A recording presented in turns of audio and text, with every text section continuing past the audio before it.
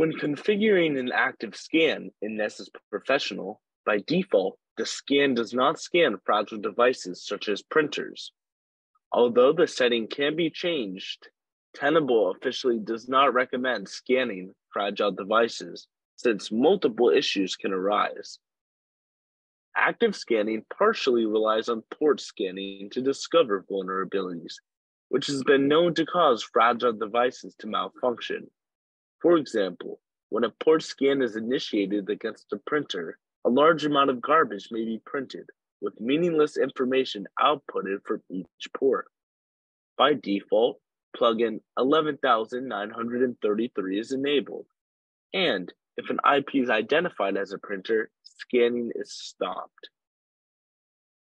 On Tenable.com, we are able to get further information about plugin 11933.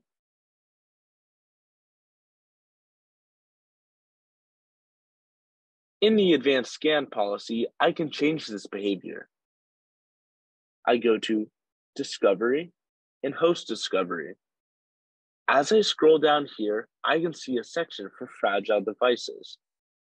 Here, I can check the box to override and scan printers. Be warned, however, scanning printers may cause a denial of service or generate paper waste.